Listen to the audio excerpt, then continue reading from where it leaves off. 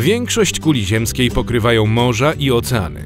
Musimy jednak pamiętać o bardzo ważnej rzeczy. Woda w oceanach jest słona i nie nadaje się do picia. Skąd bierzemy zatem słodką wodę? Gdzie ona jest? Znajdziemy ją w jeziorach, rzekach, strumykach, ukrytą pod ziemią, a także w lodowcach. Chcecie dowiedzieć się, ile jej jest? Patrzcie teraz uważnie. Umówmy się, że w tym słoiku mieści się cała woda dostępna na kuli ziemskiej. Wlejmy najpierw wodę z mórz i oceanów. Proszę. Jest jej tak dużo, że zapełniła prawie całe naczynie. W tej łyżce znajduje się cała słodka woda naszej planety. Mało, prawda?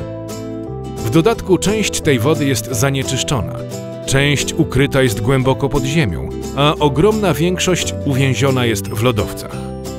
Tych powodów nie jest ona dla nas dostępna.